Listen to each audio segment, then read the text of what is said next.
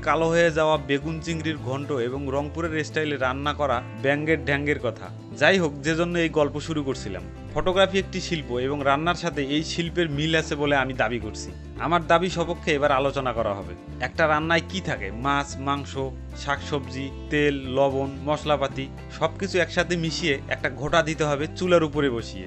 এই তো, আমি এভাবেই রান্না করে থাকি। ভালো রান্নার পূর্ব শর্ত হলো সবকিছু পরিমিত পরিমাণে থাকতে হবে। ধরুন মাছটাও ভালো, মুরগিটাও ভালো, মশলাটাও ঠিক মতো দেয়া হলো। কিন্তু ভুল করে লবণ দেওয়া হলো দুইবার। খাওয়া যাবে হয়তো, কিন্তু স্বাদটা ঠিক আগের মতো পাওয়া যাবে না। কিংবা সব ঠিক থাকলে তেল হয়ে গেল অতিরিক্ত।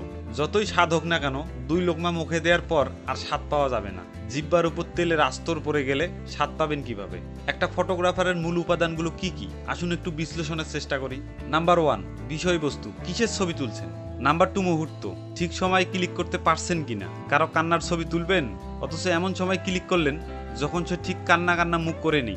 সেটাকে ঠিক মোমেন্ট বলা যাবে না। নাম্বার তিন, কম্পোজিশন। ফ্রেমের ভেতরে বিষয়বস্তু কীভাবে সাজিয়েছেন? নাম্বার চার, আলো। ঠিক জায়গায় ঠিক মতো আলো আছে কিনা? অতিরিক্ত আলোর কারণে ছবির কোনো অংশ জ্বলে গেছে কিনা? ইত্যাদি। এবার আসুন রান্নার ফর্মুলা প্রয়োগ করার চেষ্টা করি। ছবির বিষয়বস্তু খুবই ইন্টারেস্টিং বা গুরুত্বপূর্ণ। ছবির কম্পোজিশন মোমেন্ট এবং আলো একদম পারফেক্ট ব্যাস, এই ছবিটি হয়ে যাবে একটা মাস্টারপিস মানুষ তাকিয়ে থাকবে, মনে রাখবে, আপনার ছবি নিয়ে অনেক আলোচনা হবে। একটা সত্যিকারের ভালো ছবি। এবার ধরুন, ছবির বিষয়বস্তু খুবই গুরুত্বপূর্ণ, কিন্তু তাড়াহুড়ে ছবির কম্পোজিশনটা ভালো হলো না। কম্পোজিশনের কিছু কায়দা কানুন আলোচনা করব এই অধ্যায়ে। কাজেই ভালো খারাপ কম্পোজিশন সম্পর্কে ধারণা হবে খুব শীঘ্রই। যাই হোক খুব ইন্টারেস্টিং সাবজেক্ট কিন্তু কম্পোজিশন ভালো না হওয়ার কারণে ছবিটা হয়তো খুব একটা সারা ফেলতে সক্ষম হবে না। ছবিটাকে খারাপ বলা যাবে না যদিও, কেননা এটা হয়তো একটা গুরুত্বপূর্ণ বিষয়কে ধরে রাখতে সক্ষম হয়েছে। ভালো ছবির সংজ্ঞা দেওয়া খুবই মুশকিল। আজকে আমি ফটোগ্রাফির সব গ্রামার মেনে একটা ল্যান্ডস্কোপ তুললে সেটা হয়তো আপনি ছুঁড়ে ফেলে দেবেন। কিন্তু একই বিষয়ের ছবি যদি আনসেল অ্যাডামস তোলেন, তাহলে সেটাকে বুকে তুলে নেবেন। কেন? আরে আনসেল অ্যাডামসের ছবি যে, কোথাকার কোন যদুমধুর ছবি কে দেখবে? ঠিক, কোনো ছবি ভালো না অ্যাভারেজ সেটা অনেকাংশই কিন্তু দর্শক ঠিক করেন। আর সেই বিবেচনা অনেকাংশই প্রভাবিত হয় ফটোগ্রাফারের পরিচয় দ্বারা। এক কথায়, সব ধরনের আর্টের ক্ষেত্রে খাটে। পাবলো পিকাসো নাকি ক্যানভাসে শুধু সাদা রং করতেন, আর সেই ক্যানভাস হাজার হাজার ডলারে বিক্রি হতো। যাই হোক ফটোগ্রাফার যাই হন না কেন, ভালো ছবি হওয়ার কিছু শর্ত তো আছেই। আর সুখের কথা হলো, সেই শর্তগুলো নিয়ন্ত্রণ করার জন্যই বিখ্যাত ফটোগ্রাফার হওয়ার দরকার নেই। আমরা সবাই সেটা করতে পারি। কম্পোজিশন, অর্থাৎ ফ্রেমের ভিতরে বিষয়বস্তুর বিন্যাস, ছবির মানের অন্যতম গুরুত্বপূর্ণ নিয়ামক। কম্পোজিশনের কিছু ব্যাকরণ আছে, যেগুলো আমি নিজস্ব দৃষ্টিকোণ থেকে আলোচনা করব এই ভিডিওতে। ভালো করে যখন ব্যাকরণ শিখে যাবেন, তখন নানা রকম এক্সপেরিমেন্ট করুন। ব্যাকরণ ভেঙে ফেলুন ঠিক আছে, কিন্তু আগে সেই ব্যাকরণ শিখতে হবে। এক নাম্বার ব্যাকরণ, ক্যামেরা বাস্তবতাকে ধারণ করে না। ক্যামেরা যে ছবি তোলে, তা কখনোই আপনার দেখা বাস্তবকে ধারণ করে না। কারণ, নাম্বার এক, আমরা দুই চোখে পৃথিবী দেখি, ক্যামেরা দেখে এক চোখে। দিনের তো দৃষ্টি আর একনেত্রের দৃষ্টির পৃথিবী অবশ্যই আলাদা। নাম্বার দুই, আমরা যখন কোনো কিছু দেখি, তখন আমাদের মনোযোগের কেন্দ্র ছাড়াও আশেপাশে অনেক কিছু আমাদের ব্রেনে ধারণ করতে থাকে। উদাহরণস্বরূপ, আপনি যখন রাস্তা পার হবেন, তখন আপনার দৃষ্টি থাকে জেব্রা ক্রসিং বা রাস্তার অপর পারের দিকে। কিন্তু ওই মুহূর্তে যদি কোনো একটা গাড়ি অন্য পাশ থেকে নিয়ম ভেঙে আসতে থাকে, সেটা আপনার চোখের কোণে কিন্তু ঠিকই ধরা পড়বে।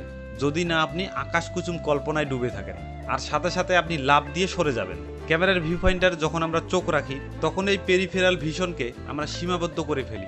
ভিউ ফাইন্ডারের বাইরে কোনো কিছুই কিন্তু ছবিতে ধরা পড়ে না। অর্থাৎ ছবিতে আমরা যা ধারণ করি, তা ওই মুহূর্তের বাস্তবতার একটা অংশ মাত্র।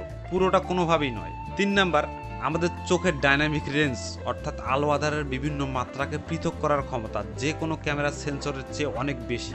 কোনো একটা অন্ধকার ঘরে আপনি হয়তো অনেক কিছু দেখতে পাবেন।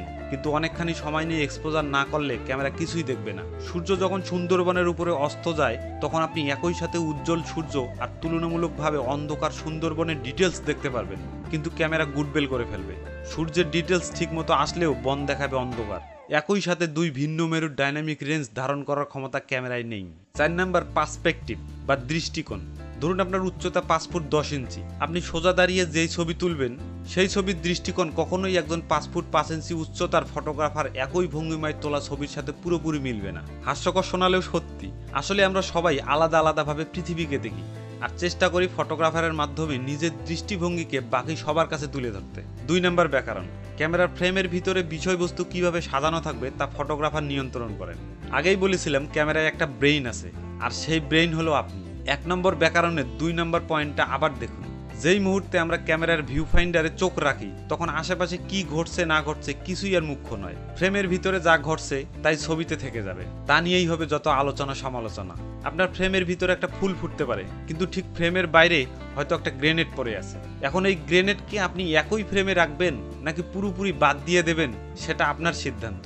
গ্রেনেড সহ ছবি একরকম মেসেজ দিবে আর গ্রেনেড ছাড়া আর রকম। কাজই ছবি তোলার সময় একটা গুরুত্বপূর্ণ বিষয় মনে রাখতে হবে। সেটা হলো ঠিক ফ্রেমের ভেতরকার জিনিসগুলো কীভাবে সাজাবেন, আশেপাশে কি ঘটছে তা মাথায় না রাখলেও চলবে। তিন নম্বর ব্যাকরণ, সরলীকরণ। পৃথিবীটা যথেষ্ট জটিল, সাড়ে সাত বিলিয়ন মানুষ, অগণিত বিল্ডিং, হাজারো চেঁচামেচি, গাদা গাদা গাড়ি ঘোড়া আর সস্তা চটিবইয়ের সম্মিলিত সমাহার আমাদের মাথা বনবন করে ঘুরিয়ে দেওয়ার জন্য যথেষ্ট।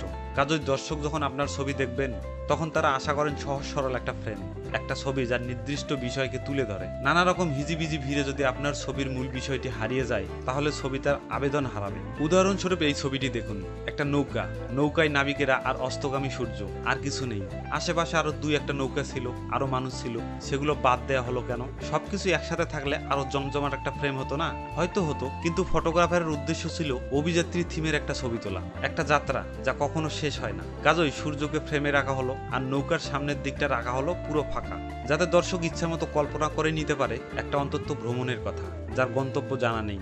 ছবিটা দিয়েই আপনি কি মেসেজ দেবেন? অথবা নিদেন পক্ষে কি দেখাবেন? সেটা আগে ঠিক করুন। তারপর শুধু সেই বিষয়টিকে ছবিতে রাখুন। ফ্রেমের আশেপাশে যদি আউট অফ কন্টেক্স বিষয়বস্তু উকিয়ে দিতে থাকে, তাহলে ছবিটি কখনোই সফল হবে না। দর্শকের চোখে আশেপাশের জিনিসের দিকে চলে যাবে। মূল বিষয় তার আবেদন হারাবে। এই ছবিটি দেখুন, এই ছবিতে অনেক কিছুই আছে। দোকানপাট, নদীর ধারে শুকাতে দেওয়ার রঙিন সব পাপস রাস্তা দিয়ে হেঁটে চলে যাওয়া একজন মহিলা আর একটা রিক্সা কিন্তু খেয়াল করে দেখুন, এত কিছু থাকার পরও চোখ চলে যায় হেঁটে যাওয়া কমলা শাড়ি পরা মহিলার দিকে। মহিলার আশেপাশে যদি আরও পথচারী থাকতো, তাহলে ছবিটা গোলমাল হয়ে যেত। হয়ে যেত একটা সিটি স্কেপ জাতীয় কিছু। কিন্তু সেটা নেই বলে এত কিছু থাকার পরেও ফ্রেমে এই মহিলাটাই কিন্তু দর্শকের মনোযোগের কেন্দ্রবিন্দু হিসাবে কাজ করবে যতটুকু সম্ভব ফ্রেম থেকে অপ্রয়োজনীয় অংশ বাদ দেওয়ার চেষ্টা করুন। যদি সিচুয়েশন আপনার নিয়ন্ত্রণে থাকে, যেমন কারও পোর্ট্রেট বা স্থির কোনো বিষয়ের ছবি, তাহলে সময় নিয়ে ভাবুন এবং ফ্রেমটি কম্পোজ করুন। আর যদি আপনার নিয়ন্ত্রণে না থাকে, যেমন আগের ছবিটির মতো স্ট্রিট ফটো তোলার সময়, তাহলে উপযুক্ত মুহূর্তের জন্য অপেক্ষা করুন। ক্যামেরার লেন্স তাক করে ভিউ ফাইন্ডারের দিকে ধৈর্য ধরে তাকিয়ে থাকুন। যেই মুহূর্ত দেখবেন ফ্রেমে কোনো অপ্রয়োজনীয় বিষয় প্রবেশ করছে না, তখনই ক্লিক করুন। চার নাম্বার ব্যাকরণ ফ্রেমের ভারসাম্য ব্যালেন্স রক্ষা করুন। ফ্রেমের ভিতরে বিষয়বস্তুগুলোকে এমনভাবে সাজাতে হবে যেন তার দর্শকের চোখকে কোনোভাবে বিভ্রান্ত না করে।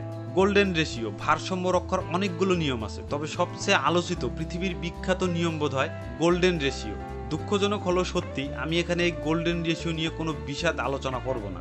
এই অনুপাতের মধ্যে কিছুটা অঙ্কের ব্যাপার স্যাপার আছে, যেটা বোঝার কোনো দরকার নেই। প্রয়োগটা বুঝলেই চলবে।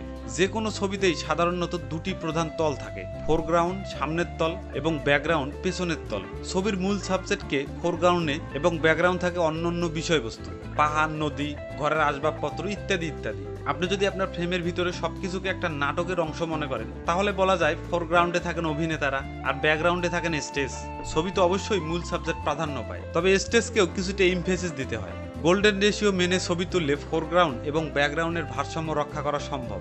এই ছবিটি দেখুন, ছবি তোলার সময় লম্বালম্বি এবং আড়াআড়ি দুইটি করে কাল্পনিক লাইন টেনে ফ্রেমকে এই রকম নয়টি আয়ত্তক্ষেত্রে ভাগ করে ফেলুন। এবং মূল বিষয়কে রাখার চেষ্টা করুন লাইনগুলো যেখানে ছেদ করছে সেখানে।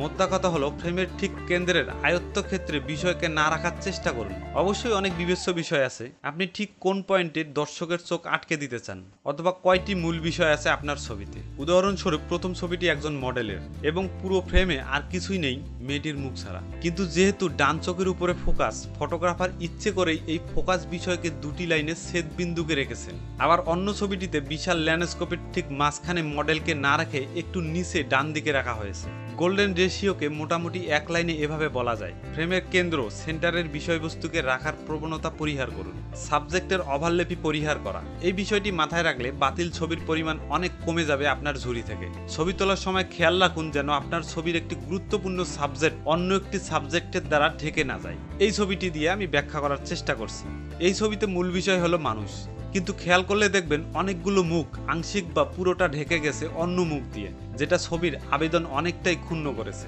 কিন্তু একেবারে পিছনের দিকে কয়েকটা মুখ একদম স্পষ্ট আর দেয়ালের ছায়ার মতন পেন্টিংটাও ঢাকা পড়েনি। যে কারণে ছবিটা টিকে গেছে। তোলার সময় খেয়াল রাখতে হবে যেন মূল বিষয়গুলো পাশাপাশি বা উপরে নিচে থাকে। কোনোভাবে যেন সামনের সাবজেক্টের কারণে পিছনের সাবজেক্ট ঢেকে না যায়। আর এই ছবিটি দেখুন। প্রত্যেকটি মেয়ের চেহারা এবং চেহারার এক্সপ্রেশন আলাদা আলাদাভাবে বোঝা যায়। কিন্তু একজনের চেহারা আংশিক ঢেকে গেছে, যেটা না হলে ভালো হতো। এটা ক্যান্ডিড আর সাজানো ছবির মাঝামাঝি একটা অ্যাপ্রোচ এবং সাবজেক্টের অভিব্যক্তি বা অবস্থানের উপর ফটোগ্রাফারের নিয়ন্ত্রণ ছিল না। ভিউ ফাইন্ডারের ভিতর দিয়ে তাকিয়ে উপযুক্ত মুহূর্ত অপেক্ষা এবং সঠিক মুহূর্তে ক্লিক করতে পারাটা পুরো ফটোগ্রাফির প্রসেসের একটা গুরুত্বপূর্ণ অংশ। আরও একটা উদাহরণ, যেখানে সাধারণ সাবজেক্টের ওভারলেপি পরিহার করা হয়েছে। এই ছবিটি যদি আরেকটু নিচ থেকে তোলা হতো, অর্থাৎ দর্শকরা যেখানে বসে আছে সেই লেভেল থেকে, তাহলে কারও চেহারা আলাদাভাবে ধরা পড়তো না। এ কারণেই একটু উপর থেকে তোলা। সাবজেক্টের দাড়িপাল্লা। অদ্ভুত টার্মিনোলজি। তবে ব্যাপারটা কিন্তু দাড়িপাল্লার মতোই। যদি আপনার ছবি একদম ডান দিকে একটা সাবজেক্ট থাকে আকারে বড়, তাহলে একদম বাম দিকে একটা কিছু রাখুন যা আকারের তুলনামূলকভাবে অনেক ছোট। কোনো একটা অদ্ভুত কারণে এই ধরনের কম্পোজিশন ছবি ভালো ব্যালেন্স সৃষ্টি করে। এই ছবিটি দেখুন। বিশাল বটগাছকে ছোট সাইকেলওয়ালা ছেলেটাকে দিয়ে কীভাবে ব্যালেন্স করা হয়েছে? আমার ধারণা এই ব্যাপারটি ঘটে কন্ট্রাস্ট বা বৈপরীত্য সৃষ্টির কারণে। আমরা ছবিতে দুইটি ভিন্ন মেরুর বিষয় দেখতে ভালোবাসি। একটা অনেক বড় সাবজেক্টের সাপেক্ষে একটা অনেক ছোট বস্তু, তাই ছবির মজা বাড়িয়ে দেয়। এরকম আরও একটি উদাহরণ দেখুন। সাবজেক্টের সামনের দিকে বেশি তুলনামূলকভাবে বেশি ফাঁকা জায়গা রাখা। আপনার ছবির সাবজেক্ট যেদিকে আগাচ্ছে মানে মুখ করে আছে